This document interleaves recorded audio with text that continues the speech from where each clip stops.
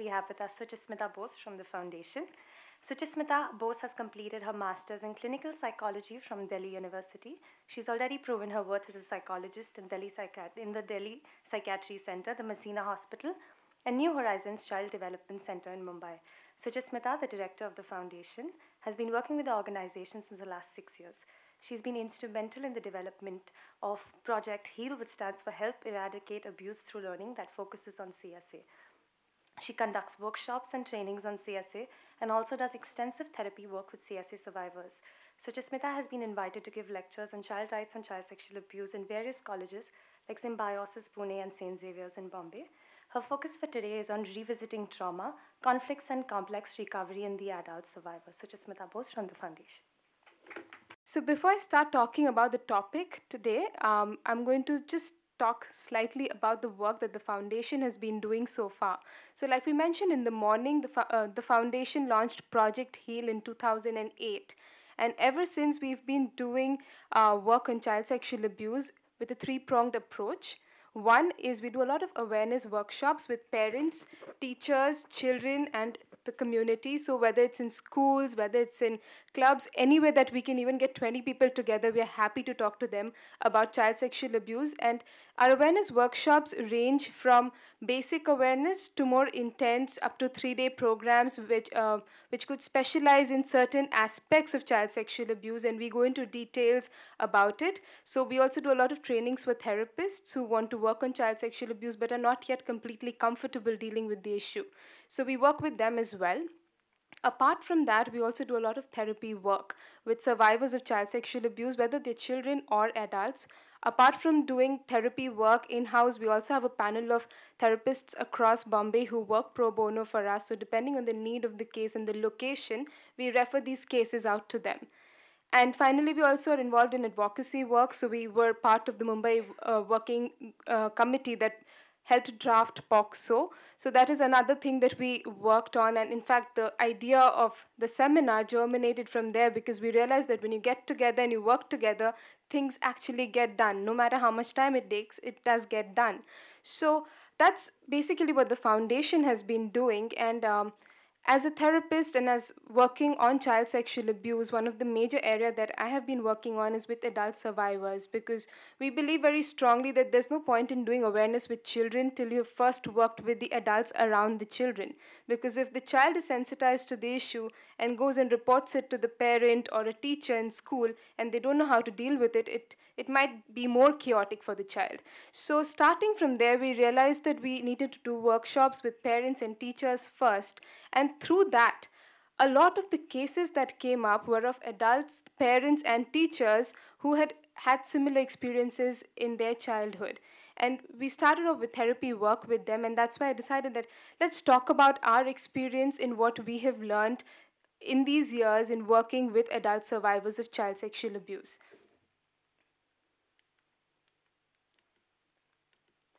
So, the topic that we selected for that is revisiting trauma, conflicts, and complex recovery in adult survivors. So, uh, based on my experience, there were certain things that came up for me. So, when I was trying to sit and uh, figure what I wanted to talk about today, there were two, three points that I realized that I always try and keep reminding myself of when I work with adults who are survivors of child sexual abuse. There are certain preconditions that I think I need to be constantly reminded of. The first is that it's difficult to disentangle the effects of child sexual abuse from those of other childhood problems. As therapists working on child sexual abuse, or even otherwise, the moment we meet an adult who has um, and honestly i think most of us have certain emotional difficulties in our adulthood too. We uh, immediately associate that with the history of child sexual abuse if we get to know about it.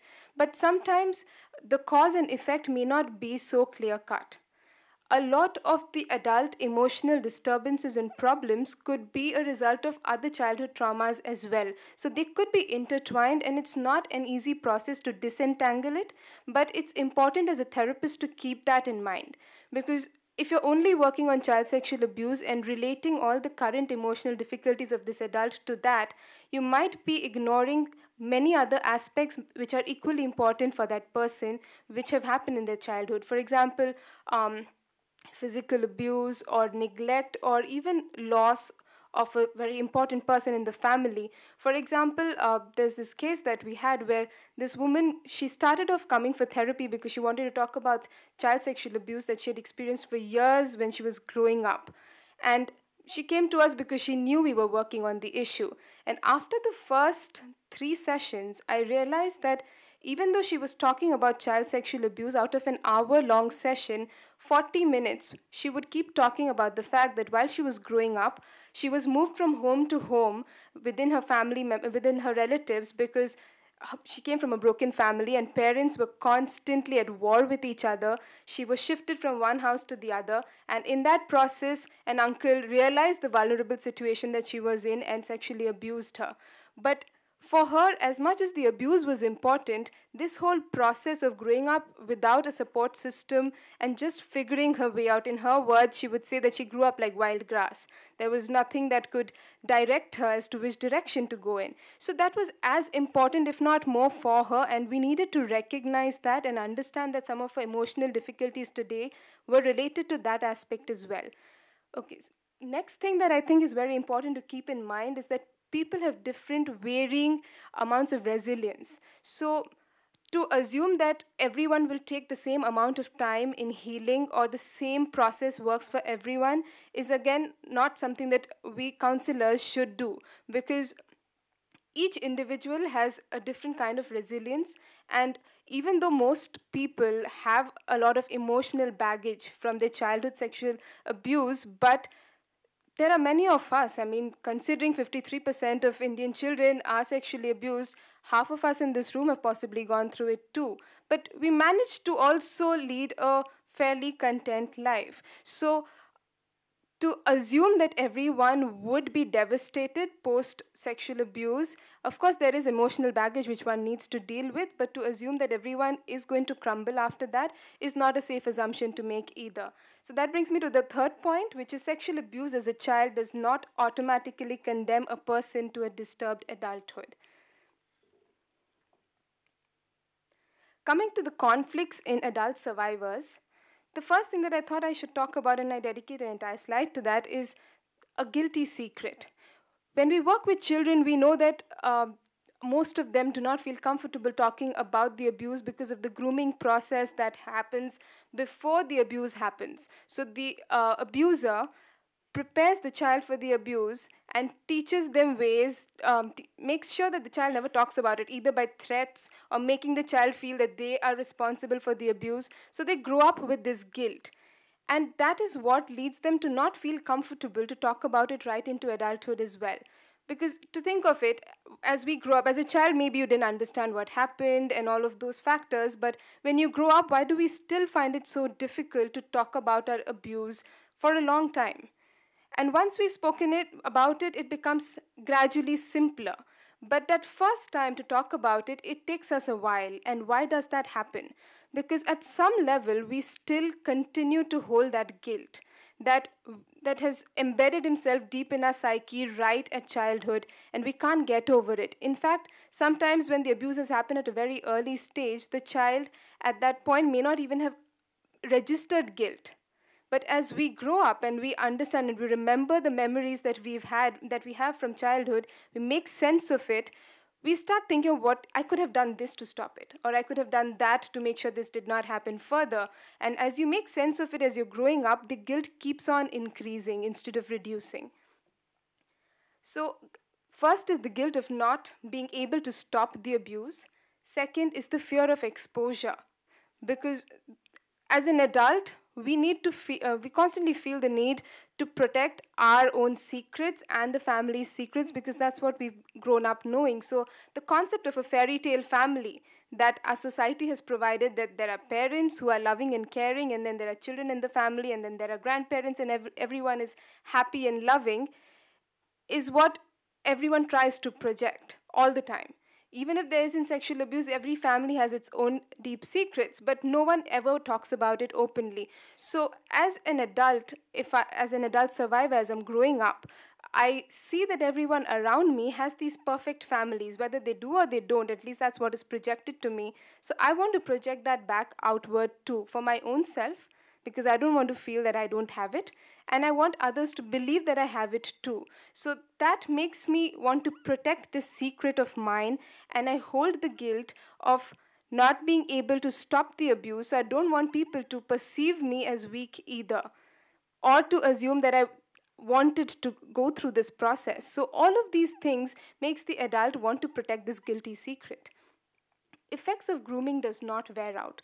As people who are working on child sexual abuse, all of us talk about the concept of grooming in childhood, that the abuser grooms the child before abuse, but it does not stop there. It extends into adulthood. The abuse and the grooming might have stopped in childhood, but the effects of it has not stopped right into adulthood. Most of our cases that we see um, when I'm working with these adults, I see how this grooming has become more and more complex as the as the child has grown into adulthood and matured. So the the memories they have of not just the abuse, but the things that the abuser said to them or how they prepared the child before the abuse, those things have stayed too. And the child also has said things to himself or herself pre abuse, post abuse, between abuse, all of those things together become this complex memory which they might not even remember in sequence by the time all these years have passed. And the grooming gets more and more complex. So, for example, um, there's this one case of uh, this man who came to us when he was 42 and he talked about his abuse for the first time uh, when he was 40 and um, when he was talking about his abuse and his experiences you could see that he while he narrated what the man what his abuser was telling him while he was growing up you could see the threads of those sentences sometimes quoting those sentences in his own explanations of who he is today. So his self concept of who i am were deeply connected to what he was told he is. So for example if he was told that you know if you if you don't listen to me or you tell people about this that you're going to be a bad person. So he has made that more complex. Of course it has become more complex in his own head over the years. And now whenever he talks about anybody in his office in a negative manner he starts punishing himself for it saying that, oh my God, I shouldn't have spoken about what he told me because he told me in confidence and I'm telling people this, I'm a really bad person. So you see how it gets more and more complex. The grooming has still stayed, it just be- takes different forms gradually. The experiences have been kept secret for so many years, as a result of which the consequences are likely to run really deep. So, like, that's why it's very important, like Dr. Sen just said, that to deal with child sexual abuse when it happens with the child because it's still fresh. The layers that have accumulated on top of it are lesser. So it's easier to reach to the root cause, to the root of um, whatever your thoughts and belief systems are around it and your perception of the abuse, and to work with it directly becomes slightly simpler as one grows, because of your own ways of trying to deal with the abuse and to deal with the memories of it, as one grows up, the layers become more and more. And to remove those layers one by one and go down to the core becomes a tougher challenge. And a lot of times it's even difficult to recognize those connections because with once you believe something, for example, if I grew up believing I'm a bad person because I, I went through sexual abuse, every little evidence that I can find in my environment, which directly or indirectly correlates with my belief system, I accumulate it and I make my beliefs stronger and stronger. So, gradually over the years, to come down to remove those things and reach down to this belief system that this comes from that experience, to understand that connection becomes tougher with time.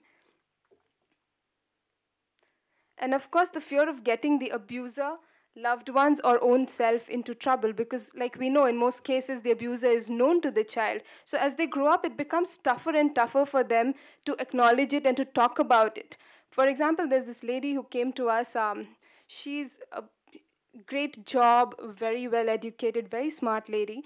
And she talked about her abuse for two sessions but would not talk about who was abusing her and after, by the third session, she finally spoke. So she was in her mid 30s, and she said that her father abused her for eight years when she was growing up. and she spoke about it to her mother and she was the only child and her mother was a psychologist. And so she so as a daughter she judges her mother even more now that you were a psychologist and you still did not do anything about it. She just brushed it under the carpet. And now she has reached a point where the mother has passed away. It's just her and the father and the father is really ill. And she feels that as a daughter it's her responsibility to take care of her father. So she still can't talk about the abuse because she can't deal with the dichotomy in her own head. That either look at this person as a bad person or i look at him as my father who made a mistake and let it be. How do i deal with both in my own head? Because i already have the whole abuse to deal with. So it's it's a choice for her and she chose to just believe that it's my father who did something wrong and that's it. He's not he's not going to do it ever again and i have to deal with this relationship now. So again that becomes a huge reason for one to have to keep that burden of the secret within you because you don't want to get people into trouble and you can't deal with getting your own self into trouble either some of the other conflicts of an adult survivor um, first is a corroded sense of self-worth. Obviously uh, when when an abuser is abusing the child there are going to be some negative emotions like shame or guilt or um, fear anger. All of these things together a lack of trust these things together just come together and they have an effect on your own concept of who you are and your concept of your self worth, which stays on into adulthood. And almost in most cases of adult survivors, we see this happening because the abuser makes the child feel objectified. You feel like an object that was used, and as you grow up, you make sense of it more and more. And to not be able to protect yourself adds to that baggage and that sense of being an object just has an effect on your sense of self worth. The desire to constantly settle for second best to avoid the spotlight. Again, very interesting because we see this a lot in teenagers actually, where they purposely put on weight or wear layers and layers of unattractive clothing or they want they don't want to um, give in their best performance or they a lot of adult survivors have the problem of either leaving something midway and not completing a task or procrastinating because they feel that once something is over, you're in the spotlight. Because if you've done something well, someone notices you. And when you are growing up with a history of child sexual abuse, you've always wanted the abuser to not come to you. You're trying to push that person's attention from you away. So that has become layered and complex in your own understanding, and now you've reached a point where you don't want anyone to pay attention to you. So, there are a lot of people who come with eating problems, eating disorders, or teenagers who just do not want anyone to get attracted to them. They will, like, in I had this case of this young girl from a South Bombay school where there's so much pressure of being thin and looking good from all your peers, and this girl her mother brought us um, brought her to me because she was like she does not want to wax or thread which is unnatural for her age and her peers. And she's purposely trying to make herself look bad. She wears really loose clothing and everything. And the reason for that for her as we explored it was because she just didn't want anyone to look at her. Everyone's eyes should be away. Self punishment due to the guilt developed during the grooming process. So, like I said, during the grooming process, what the abuser says stays with you. So, obviously, because the abuser needs the child to keep the secret, they try to put the entire burden of the act onto the child. So, they might say things to the child to the effect of that you also wanted it. Or you, you took the chocolate from me, so why are you saying no to this? That was okay to keep a secret. Why is this not okay? Okay, so all these things where the child starts feeling that of course this i'm equally responsible or i did not say no or i did not go and tell my parent. So as you grow up into adulthood this just multiplies. And the burden of that keeps increasing. So because of that you might end up indulging in self punishment so the child might uh, the child who's grown into an adult now is either into addictions of different kinds or self mutilation or um, make dropouts from schools suicidal tendencies, a lot of this surfaces into adulthood because there's so much guilt that one can't deal with. So you feel the need to punish your own self. Because we've grown up in a society where what have we been taught in our moral sense classes? Guilt means you've done something wrong, something wrong equals to punishment. So if others don't know about this and they can't punish me, I should punish myself, is what the concept develops as. Nightmares and flashbacks, again, something that can stay for a long time, but nightmares and flashbacks can reduce significantly with therapeutic aid. So there's this uh, another case of a man who was 50 when he first talked about his sexual abuse, and uh, he came in with his girlfriend. So he was 50. He was dating this girl for 20 years, but he still couldn't marry her because of his trust issues in life related to his past sexual uh, abuse issues. So when he came in for therapy with his, his girlfriend came in with him, and while we were talking, he mentioned that even today, after all these years, he was abused when he was 15. Even today, after all these years, no one can touch him to wake him up because the moment someone touches him to wake him up, he has a flashback of the memory that the uh, the older boys in school used to wake him up in the night to sexually abuse him and sodomize him. So that flashback continues right up to now. So you have to go into the other room, call out his name loudly to wake him up. So these things can go on for a long time, but flashbacks and nightmares with therapy, with some sort of guided imagery and relaxation techniques can be reduced.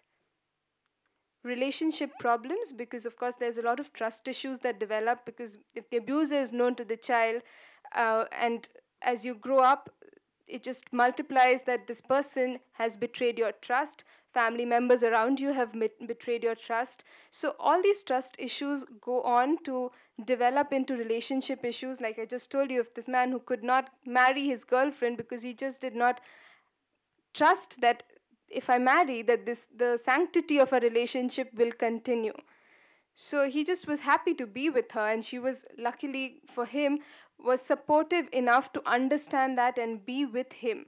But a lot of them keep testing their partners too. They will try to test to see whether you're really trustworthy. They will do things to check whether, in fact, even with the therapist. Like I've seen for this one young girl who came to me in the first session just to check whether she can trust me or not. She kept telling me how bad I was this is in the first session when we haven't done any work. She just kept telling me how horrible I was just to check whether I still continue to talk to her. And once she established that, the next test that she put up for me is that she told me in the second session, I'm not sure if I'm coming to you for therapy because I need therapy or because I'm attracted to you. So she tried to see if I get slightly scared by a comment like that. So these tests keep happening because you need to re-establish that trust. Problems with sexual functioning because of course sexual abuse is a traumatic experience so it can have various kinds of effects on sexual functioning so it can make the experience of sex very painful and of course because there's guilt a lot of women in particular because there's a lot of guilt they when they engage in adult consensual sexual relationships, they find it difficult to reach an orgasm because they think that getting pleasure out of sex is not correct, is not the right thing to do. So there's a lot of guilt which gets associated with it, and they, they don't want to enjoy sex anymore. Or sexual identity can also become a confusing aspect, especially for men, because if a man has been abused by a male abuser, then all kinds of questions arise right at childhood, which can stay on into adulthood about why did he choose me, or you know why me over my sister. So all kinds of questions can arise, which might not get resolved because we do not talk about sex openly and definitely not about sexual identity. So it stays on and the confusions stay on. And uh, finally, anger, despair, and depression. Of course, very uh, understandable cause um, effects of child sexual abuse, where um, anger again is not just necessarily directed towards the abuser and the caretakers. It can be just intense anger that's been bottled up, and you just need to throw it out. There was this one case of, uh, again, a man who came to us, and he, while we were working through his therapy, one of his main problems was road rage. He's like, I have unexplained, an unexplainable road rage, and it's so bad that nobody none of my family members or relatives want to travel in the car that i'm traveling and he's like i'm I, it affects me too why is this happening and as we looked at it we realized that his road rage was because of the sexual abuse that he went through in, in childhood where he felt so helpless every time he was sexually abused. And as a boy and he was in an army school where he felt that he needed to be strong and masculine because everyone else wanted to be that. And when he was being sexually abused by the hostel warden he kept feeling the sense of powerlessness as a man and he could not do anything about it then and he's bottled up all that anger. And now every time on the road someone crosses his path at the wrong time or just like uh, hits his car slightly he feels that these people are looking at me as helpless as a helpless person. So all that anger that was directed towards that warden comes out here. So you see how since childhood till adulthood, the same issues stay, but the manifestations sort of change. And to be able to recognize that manifestation is primary because half of therapy happens right at that. Acknowledging these manifestations and making those connections usually help the client a significant deal. Moving on to complex recovery. So, as we look at some of the issues, next comes how do we work through therapy? And the first thing is starting the process. While we start therapy, in most cases, why do adult survivors even come to talk about it? In most instances, it's just sort of to offload because it's just been so long that they've kept this within them and they need a safe space to just talk about it and unburden themselves. And when they come in to do that, they mostly do not have a clear goal in mind. So, that is something that as a therapist working on child sexual abuse, we need to keep in mind because one of the key things that you learn as a therapist is to establish the goal right at the beginning of therapy. But when you're working with adult survivors, you may not be able to do that right at the start because the the the survivor may not be sure of what they want to achieve yet so sometimes this goal of therapy evolves after some time. It takes a little time to figure out what it is beyond just unburdening yourself that you want to achieve.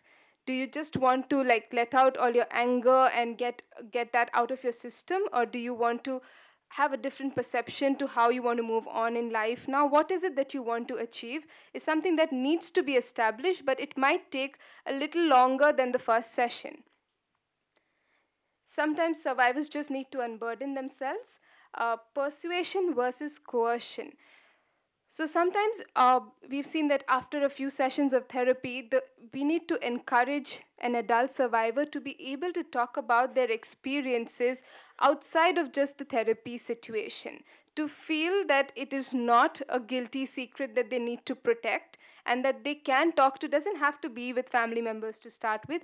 Whoever it is that to be able to feel comfortable to talk about this experience without feeling guilty about it or burdened by it or embarrassed by it. Because like you know i mentioned earlier that many other childhood problems could also have similar effects as child sexual abuse when you look at adult symptoms. But the difference between other crises and child sexual abuse is that you can talk about most of the other crisis situations. But child sexual abuse is uh, laden with a lot of embarrassment. So you keep that within you. So as therapy progresses, it's important to try and get the survivor to be able to talk about it more outside of the therapy situation. And when you're doing that, we need to be careful to not persuade them but maybe to coerce them. So coercion is okay, but persuasion, sorry, persuasion is okay, but coercion is not okay.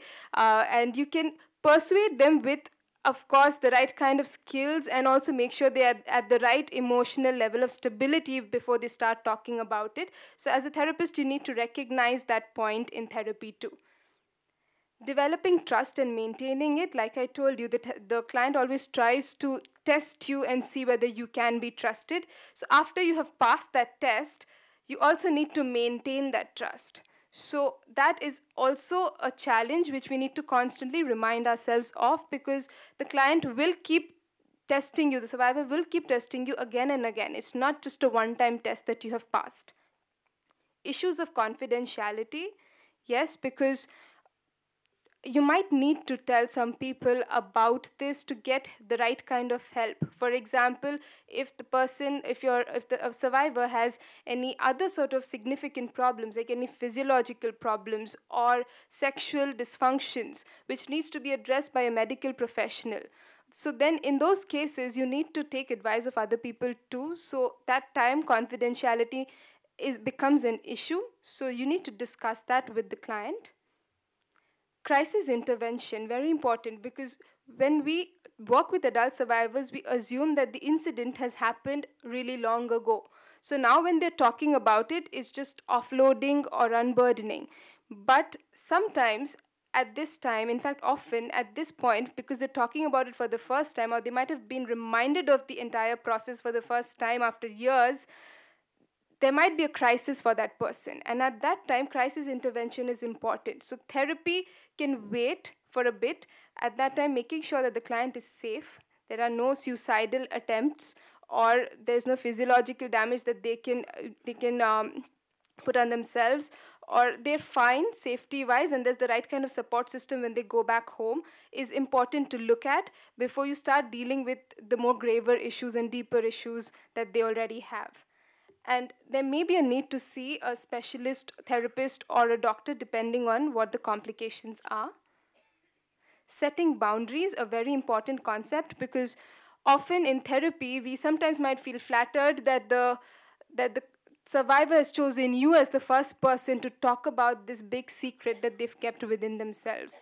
And while you feel flattered about this you might overdo your role as a therapist. So there was this one counselor, school counselor, who called me once in the middle of the night because she didn't know what to do with this 13 year old girl who was going through sexual abuse and spoke about it to this counselor. And this counselor was feeling so bad about it that she gave her her personal mobile number. And this girl would keep calling her at 12 in the night, 1 in the night. And the counselor didn't know how to handle it because she would speak to her three to four hours in a day. So, which is not okay because what you're doing is you're making the client completely dependent on you and this person already has boundary issues because child sexual abuse is a violation of personal boundaries. So if you are able to say no as a therapist you're also a model for that person to feel that it is okay to say no. So you are becoming a model for that. So setting boundaries is very crucial. The concept of an inner child for adult survivors, when they recollect the memories, it's a process that you can go through with them because when you've gone through the abuse as a child, a part of you might split within you. You have grown up as an adult, but a part of you which suffered as a child might have remained as a child. So you've not, if you, if the adult has not been able to integrate that part of themselves with the adult, part of themselves. They're not able to forgive themselves. A lot of guilt arises because of that. You are holding the child within you to blame, but you are operating out of an adult mind and thinking this could have been done and that could have been done, but you were a child when it happened. So, to integrate the two and understand that that was a part of me which was a child which did this. And also, sometimes you see with a lot of adult survivors that very um, childlike emotions come up extremely impulsive, erratic behavior uh, and emotions of a child come up in them because a part of them has remained a child and a part of them has grown up. So, to be able to integrate the two is a very crucial step in therapy, and that can be done through guided imagery under relaxation or something where you where the person can be made to uh, imagine the child part of themselves and talk to that and forgive the adult part and the child part for whatever they hold themselves responsible for and throughout the anger have that conversation and integrate the two.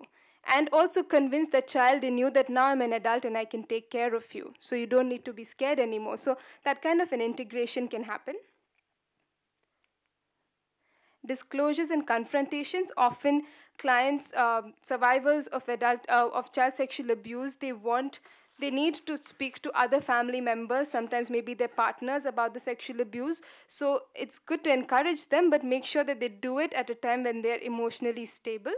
Also, if they feel the need to confront the abuser, if the abuser is still alive, then it can either be done directly or it can be done even through a role play if they don't want to do it up front. So it can be done in a therapeutic safe situation or first it could be done there and then done directly with an abuser so both ways but it's important to always make the survivor aware of the fact that when you disclose or talk about your abuse with anybody now the no, it's not necessary that you will get the kind of responses that you are expecting. There can be adverse consequences, and for them to be prepared for that. So, as a therapist, we need to be uh, aware of that and make the survivor aware of it before any disclosures happen. And finally, some learnings as a therapist. Sometimes giving literature to read about child sexual abuse can help some adult survivors because most of them are rational smart, in, intelligent beings who after a point of in therapy want to learn more and you can't talk about everything within the therapy situation so you can give them some material that they can read about and imbibe in them in them, themselves. Group therapy also works for some clients. So after you've worked significantly in individual therapy and you have a few clients who are at sort of the similar uh, uh, stage in therapy and it's a homogeneous group you could put them together. That kind of sharing sometimes helps therapists and survivors perspective towards the abuser might be different again a very important thing to keep in mind as a therapist and especially if you're working as a social worker and as a therapist your perception of what the abuser is can be very different from what the survivor's abuse um, perception of the abuser is. So, to be aware of that and know when to say what and not impose your perceptions on that person is, is very important. And finally, it's very important to take care of yourself as a therapist, which comes from even the boundary violation part, because the more you allow the boundaries to be violated, the higher the chances of burnout. And also, child sexual abuse is, is a very complex thing to work with, and it's not something that many of us are comfortable working with. So, if you don't have the kind of confidence to work on every case, depends on the nature of the case, try and you must get additional support from people around you because you should not allow yourself to burn out. And if you don't take care of yourself, you and your and the survivor both suffer. So it's very crucial to take care of yourself, to not sympathize and to keep in mind that you only need to empathize but not sympathize with the survivor. So that's again a very crucial thing to keep in mind. That's all. If questions, if there are any.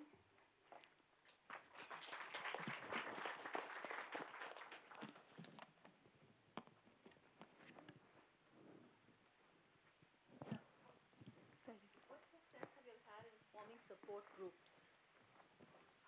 groups for the therapist or for survivors, the survivors. for the survivors to be honest uh, just like group therapy are you talking about that no like you know like a lot of people who may who may have been abused as kids want to get together but everyone's so scared that the other would know that they've been abused yes. so you do s- start these survivor afternoons mm. and you end up being the only one there and nobody coming for weeks together. i agree it's not easy which is why i said that it it has to be after substantial amount of individual therapy and all of them have to be at the same more or less same level in the process of therapy to feel comfortable. Honestly i've only managed to get one group together with three people. That's it so far because people on like you said it's they're not very comfortable which is i think okay which is fine. If when they feel that they're at that stage a lot of them what they they may not feel comfortable to come in for group therapy but they're happy to come and work in an ngo setup or something where they can work with other survivors and gradually find their space to talk about it so that happens often I have a question. Yes. Uh, why it is so difficult for the adult survivor to overcome uh, uh, CSA uh, from a known person compared to the unknown person? In therapy? Yeah, even in the therapy or right. in life, how, right. why it is so difficult? Because if the if the person has grown up uh, from any kind of uh, child sex abuse from a known person and versus, uh, Versus some unknown. Right. So why it is becoming because of trust because when it is a known person for a child versus an adult there is an automatic connection where you assume that the known person is there to either take care of you or is responsible for you in some way. So the feeling of betrayal of trust when it comes to a known person is much bigger much stronger as compared to an unknown person. Because with an unknown person you have no expectations. But with a known person, you have expectations of certain kind of protection, which does not happen. So when there's be- breach of trust, which happens, which as you grow up, you make sense of it even more. So that's why it's tougher to overcome um, overcome the fact that a, a known person could have abused me. That's the main reason, actually. Um, hi. Yeah. Um, I wanted to ask a question more. Hi. Uh,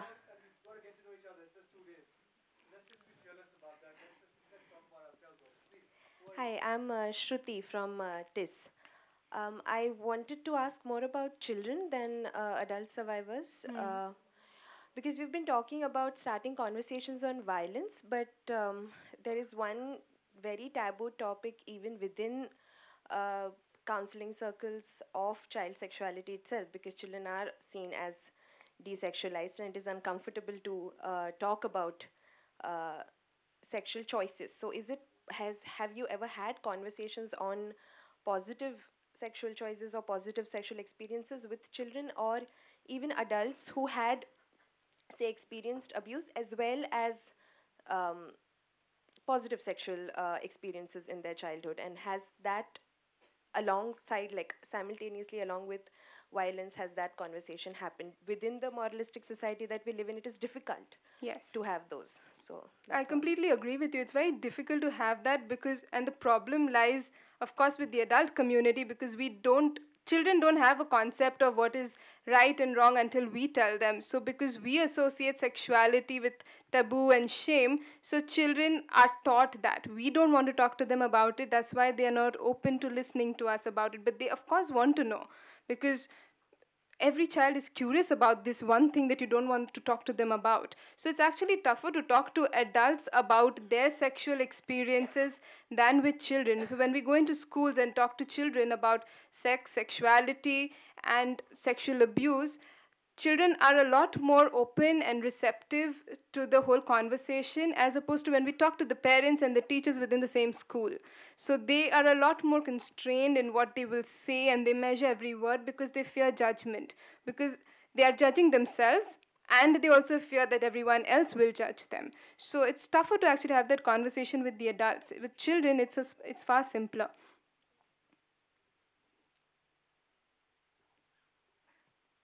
Yeah. Rishi. Hi, uh, my name is Rishi again, and I was just wondering, as a therapist, what are you, your views about this? When I come into a therapy room, I'm imagining that I'm stepping into a safe space where everything is safe and nothing can harm me, and that's why I'll open up. But is it a good idea then uh, to get the abuser to be a part of that space and have a confrontation with uh, the survivor ever? I know the, uh, uh, I mean, uh, for me right now, as I ask this question, the answer is it's always going to be different for every survivor. But is there a, Uh, it's it's a it's a very rare thing that even a survivor wants to do honestly in my experience i have not so far had any survivor who wants to bring the abuser into that space of the therapy situation and confront them because a uh, this is their safe space so they don't want to bring that person into this. B they are not sure that this that the person the abuser will come in here because they don't want to be confronted by the survivor and to add to it a professional uh, whoever it is. So they do not want to come into that space. So it's a rare thing that a survivor would even want. But if there was off chance that that would happen it would have to happen after like significant amount of therapy where the the it's finally comes down to what is important for your client So if that is what they really need at that point, then you could do that. But it has to be after a lot of therapy, doing enough role plays, understanding what the consequences of this is going to be. After that, if they still choose that, then that's okay. Okay. Thank you.